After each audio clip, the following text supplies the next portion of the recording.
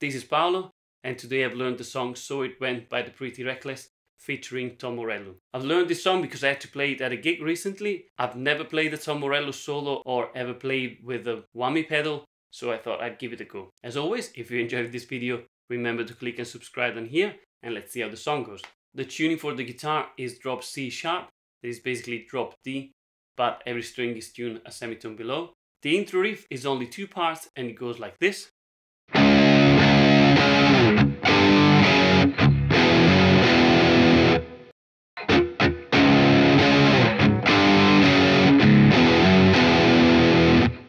Verse riff gets a little bit more complicated just because the first part is in 7-8, but it's basically the same riff as the intro, you just take away the first 8 notes. And it goes like this. After three times, you play the riff in 4-4 for one time, and then the riff goes up tone, and it goes like this.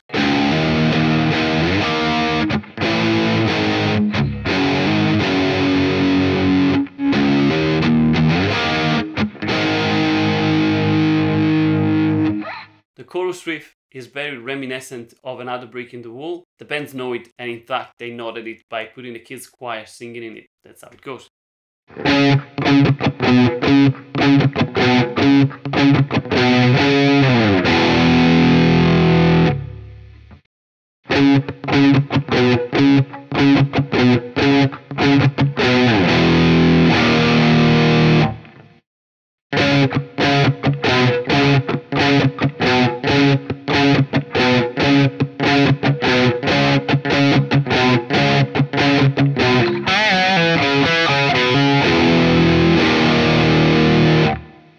arpeggio part in the bridge.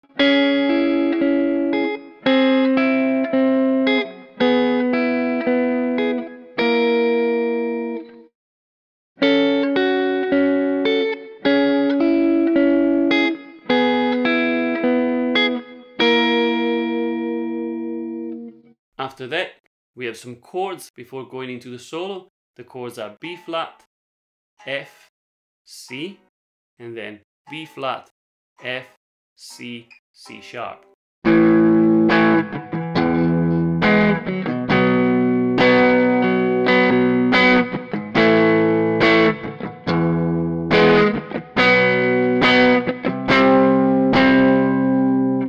And then we have the Tom Morello solo. It's mostly pentatonic with some added flavor given by the whammy pedal, and that's how it goes.